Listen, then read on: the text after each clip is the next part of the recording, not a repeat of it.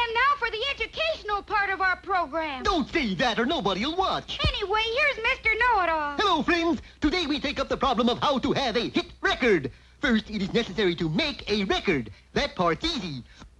Oh, oh, baluta doota bitty, rodo zootity fo zoot. See?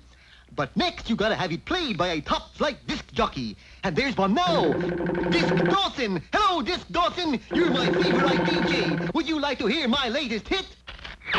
No, I'd like you to hear my latest hit. Sounded more like a hit and run.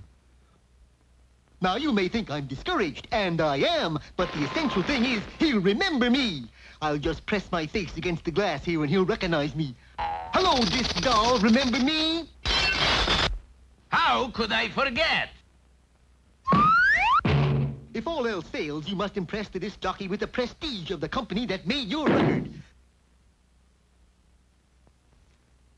Hey, Mr. Disc Dawson, baby. What do you say to that? Only one thing to say. And that is... Sic 'em! Gee, Mr. Know-It-All, are you going to make another hit record? No, I'm out of the record business. But isn't that a record you're making there? Nope, it's a pizza! A one mozzarella coming up!